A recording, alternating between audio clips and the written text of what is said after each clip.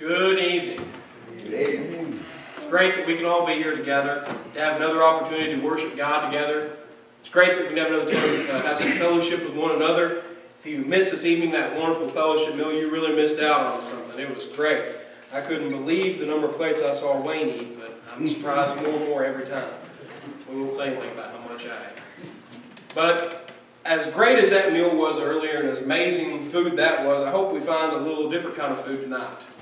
You see, in our series we've been doing on Sunday nights, we have just started this. Last week was I Heart God or I Love God. And this evening's is I Heart or I Love the Word. The reason I bring up food is because tonight we're going to be talking about spiritual food, the spiritual nourishment for our souls, without which we will certainly starve. If you have our Bibles with you this evening, and I hope you turn over to Psalm 119, and our primary text for this evening's lesson is going to be Psalm 119, verses 97 through 104. Psalm 119, verses 97 through 104. I'm going to have it here on the screen beside me, but once again, as always, I'd encourage you to turn there as well in your Bibles and follow along. Throughout our lesson tonight, I hope we see a couple things. First, that there are certain things that we need to do in relation to the Word, the Word of God. Second, that we can never, ever, ever, ever feel that we've accomplished enough when it comes to soaking in the Word. One of the great things about the Bible is the deeper you go and the more in depth you look into study, you see that the well goes deeper and deeper and deeper. God's wisdom is so amazing. Sometimes we find similar things with other parts of literature. You ever read a book and then when you reread it the second time, you got something out of it you didn't quite get the first time? Sometimes I'll read a book that I really like or a series I really like over and over again because I notice little things I didn't notice before. The more acquainted you become with a story or with a book, you'll pick up the other things. You'll soak in more data, more information. And such is certainly true with the Bible. But on a much higher and greater level because the author of the Bible is the all-knowing, all-powerful God of the universe who created the very thought process that we use to read. Certainly He's planted in there so much there for us. We could study our entire lifetime to barely scratch the surface of all the wisdom that God has for us to glean. If you will follow along with me there again in Psalm 119. What's interesting about this psalm is that throughout this huge, huge psalm here, he uses every letter of the Hebrew alphabet to praise the Word of God. I would encourage you on your own time to read all the way through this psalm. It's an amazing psalm. We'll read it, quite a bit of it this evening in different parts. Psalm 119. Oh, how I love your law. It is my meditation all the day. Your commandment makes me wiser than my enemies, for it is ever with me. I have more understanding than all my teachers, for your testimonies are my meditation.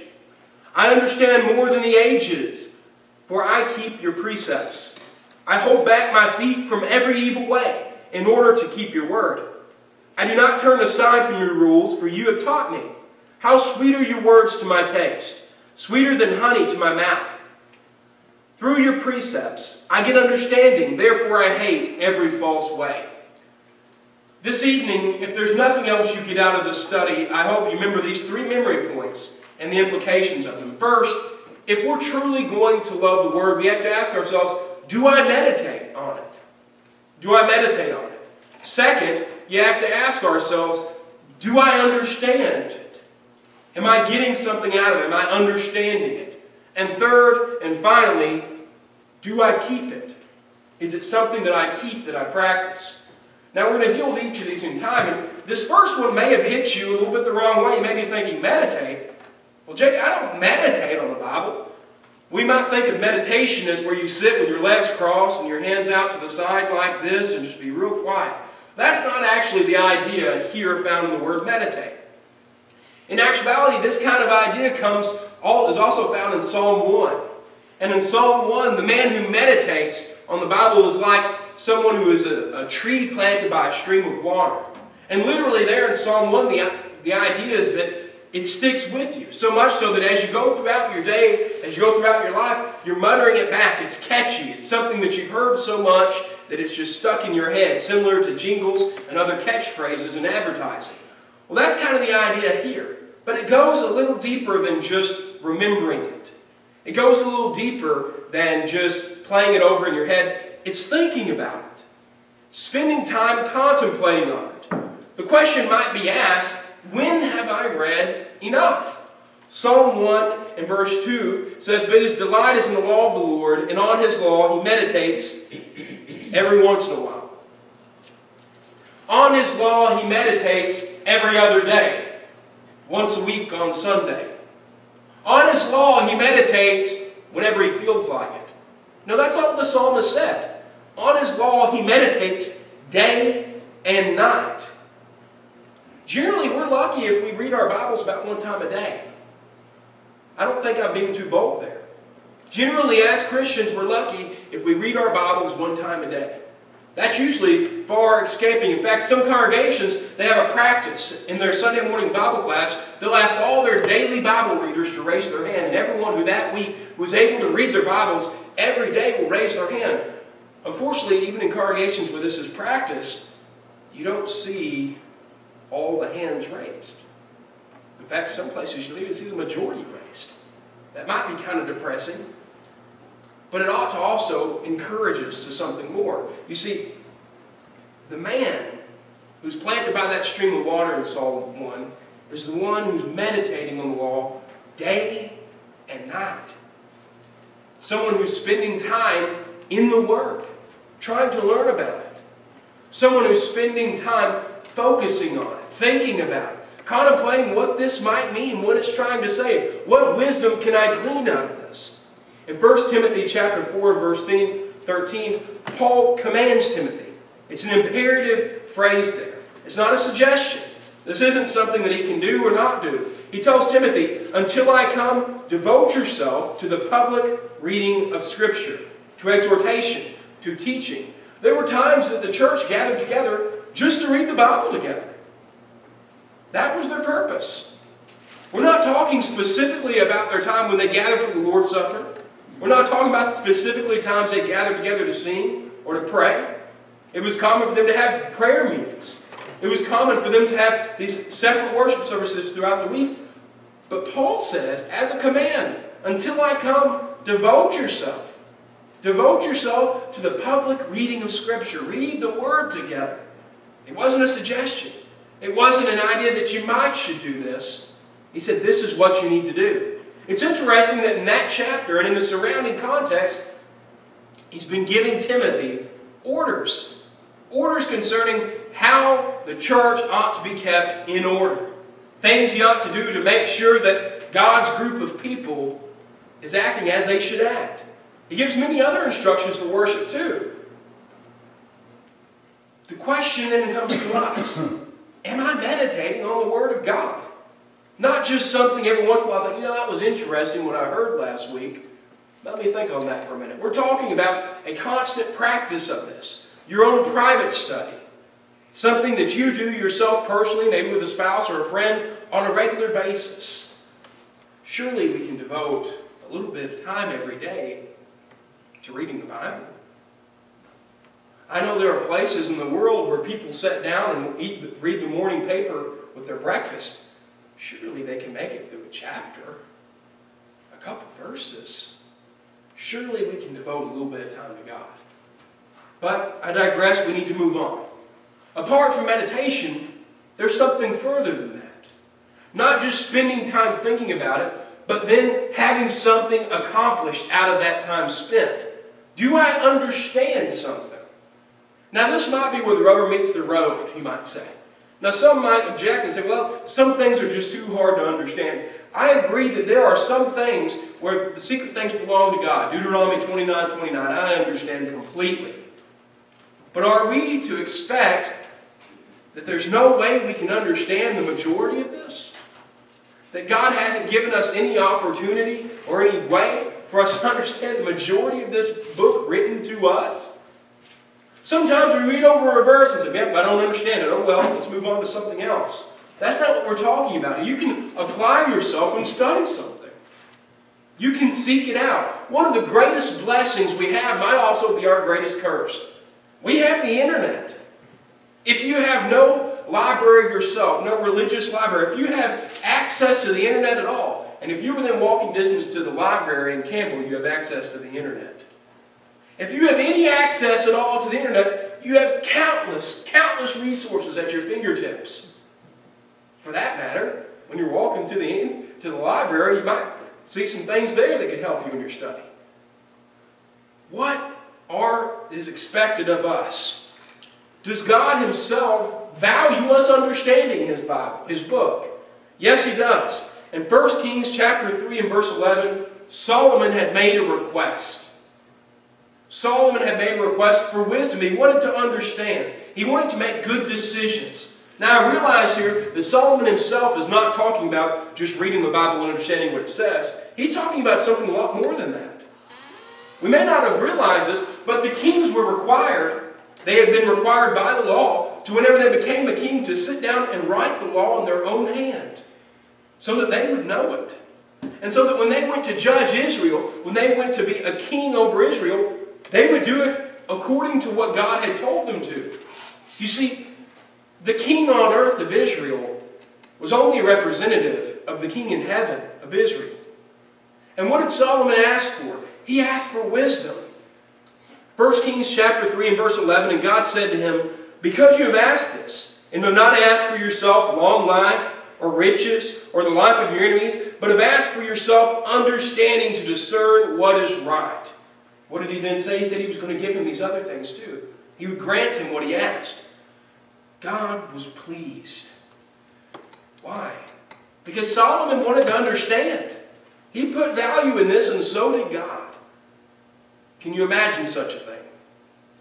God wants you to take this book He has given you, to take this blessing bound in pages, and to learn from it, and to take it into your heart and let it shine out through your life. This isn't just something He gave us to put on the shelf and gather dust. This isn't just something He gave us so that we could come to Bible classes and sermons and turn to the pages whenever they bring them up. This is our own handbook. Apart from just God valuing understanding and being something He likes, is it something that's necessary? Is it something that we need to do? Because there's quite a big difference in things that we should do or that would be good for us to do and things that we need to do. If it's something that's imperative that we need to do it, if it's that important, then we ought to be paying more attention to it and putting more effort into it. In Psalm 119, this still this great psalm that spends its entire time blessing and glorifying the Word of God. In verse 34, notice what the psalmist says. Give me understanding. Why? Why did the psalmist want understanding? Well, he doesn't leave us hanging. He answers us, That I might keep your law and observe it with my whole heart. How can you keep what you haven't spent time to understand? How can you follow and practice being godlike if you haven't put in the effort to understand the guidebook he's given you. His own image impressed on it just as it is impressed on us. Paul describes it to Timothy as the very breath of God. That God breathed. And here are these pages. It's amazing to me to see how much value there is in the Word of God. It's amazing to me to see what it can do. I wish we had time to read through this entire psalm today. I wish we had the opportunity where we could because there's just so much there in what it can provide.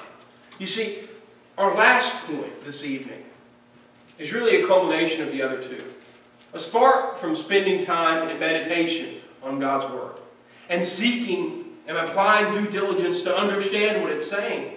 It does us no good to do these things if I don't keep it, if I don't act upon it, if something doesn't happen, then because of this. We've been studying the book of James in our Sunday morning Bible class. And one of the things that we've sparked upon the discussion is the idea of doing something, not just thinking about it.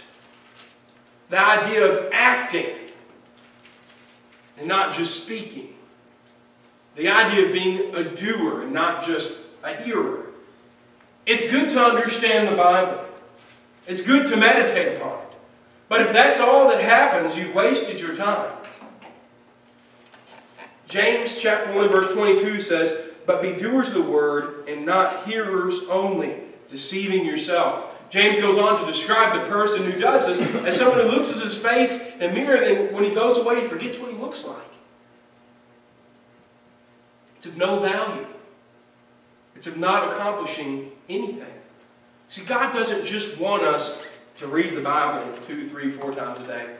He doesn't just want us to spend a couple hours in study trying to understand what it means how it applies to us, and how it can make my life more pleasing to Him. He does want that. Let me assure you, He wants that. But that's not all that He wants. Yes, He asks more.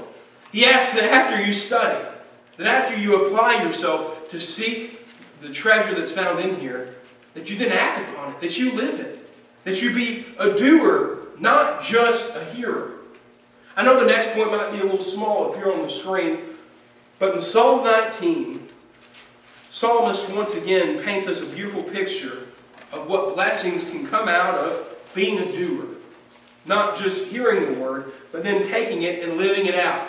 What blessings can the Word of God give you in your life? Psalm 19 illustrates them. Psalm 19, beginning in verse 7, The law of the Lord is perfect, reviving the soul. The testimony of the Lord is sure, making wise the simple. The precepts of the Lord are right, rejoicing the heart. The commandment of the Lord is pure, enlightening the eyes. The fear of the Lord is clean, enduring forever. The rules of the Lord are true and righteous altogether. More to be desired are they than gold, even much fine gold, sweeter also than honey and drippings of the honeycomb. Moreover, by them is your servant warned, in keeping them there is great reward. I wonder often if we value what we're holding in our hands as much as we should.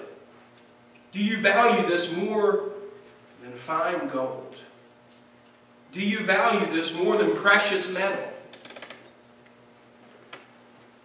One thing I try to do when I visit my grandfather is to stop along the way over to Paducah, whether it be at Lambert's or someplace along the way, and sometimes they'll have these little canned goods that the Amish make, and one of them in particular is honey with some honeycomb in it. You know, it's the simple things in life that really just make you smile. And he loves to get out a little bit of that honeycomb and to have it on his biscuits and to mix it in with his soup and other things he has there. And it's just something that he really likes. I wonder if we have that same joy in our heart towards the Word of God. If we think it's sweet as honey, if when we get an opportunity to read it, to study, to talk about it with someone, if we're just delighted because of how sweet it is. If we view it as not a burden for us to have to be lifted, but a joy, something that's helping to guide our life into truth, to bless us on every corner, keeping us away from evil, from trouble. Or we see it as a leash holding us back. You see, it's all the way you view things. It's all in the way you look at things. And David, here in Psalm 19, he valued the Word of God. He loved it. I'm not so sure we all love the Word of God. I'm not so sure that we all care deeply for it. It seems like we see it as a burden that has to be borne, a weight that has to be lifted a chore that has to be done. But it's not, it's a blessing. Where would we be without it? What would we have to talk about tonight? What would you have to teach you right and wrong? I want you to imagine for a moment that all the lights were out in this room. All the windows were covered, the doors, everything was pitch black and dark. and you're barefoot. And scattered around on the entire floor is jacks. If you don't know what a jack is, then you didn't have a very fun childhood. If you don't know what a jack is, imagine something else that's pokey, Lego or something like that. And there's a path leading from where you're standing to the door. But you don't have it. You don't have any kind of map. How would that make you feel? Make you feel sad? Would you really appreciate that map if you had it? What would you give to be able to know the right path to get out of this room? Can you imagine feeling lost, scared, alone in the dark, not knowing where to go? If we can have that much emotion tied up into a simple, meaningless illustration like this, what about the Word of God? The Word that shines light on the darkness. The Word that guides us through this life tries to keep us from harm and pain and suffering. That tries to help us deter ourselves from an eternal punishment. But how often does it just get tossed aside? How often does it just get left as something to pick up once a week? This is a question we all need to deeply consider. Do I really love the Word? Do I really love it? I'm not about talking about just saying yes because you think that's what you're supposed to say. I'm not talking about do you think it looks pretty on your shelf. Do you study this thing because it's your lifeline to God? Do you enjoy opening up this thing because it's a private message from God to you? Him speaking to you? Do you look forward to every opportunity you have time to sit in a Bible class or a lesson like this because you're going to get to hear something out of this? Or is it just another burden to bear? Is it just something else you do? You see, if you don't love the Word, if that's not something that you love, the question I want to leave you with tonight is why? First and foremost, why are you here? Is it because you're curious? You want to know more about it? That's great. We would love to have the opportunity to talk to you. We would love to have the opportunity to let you know why this is such an amazing book. What sets this apart from the adventures of Tom Sawyer? What makes this so much better than the Chronicles of Narnia? What makes this better than the best romance novel you've ever read? We would love to have the opportunity to spend the time to talk to you about that because we love this. If you don't really love the Word, why are you here? See, if you do know how good it is, you do know how much of a blessing it is, and you don't love it, why do you want to go to heaven? If you don't enjoy talking about this, learning about this, singing about this, praying about this, why are you going to a place where we're going to be doing it for all eternity? Is it because you don't want to go to the other place? Because that's not a good enough reason. That's probably a one-way ticket there. If you don't love this, why suffer? Why take the harsh treatment as a Christian? I'm not here tonight to beg and plead with you, to please just give Jesus a chance. I promise that if you just give him a chance, you'll find enjoyment here. That's not what he wanted me to say. That's not the lesson he would preach. And I tell you that not because I know everything Jesus would do, but because I read about his lifestyle, just like I'm sure all of you have. I read his sermons, just like I'm sure you have. And while he said, Come unto me, come unto me if you're weary of bearing this big burden, I'll give you rest. While he said that, he also said, Take my yoke upon you. While he also said, I will provide you with life. Come and drink from me. He also said, Deny yourself, take up your cross, and follow me. He didn't make it easy. He wanted people who loved the Lord. He wanted people that when they see something so beautiful and so amazing, they cherish it, not discard it.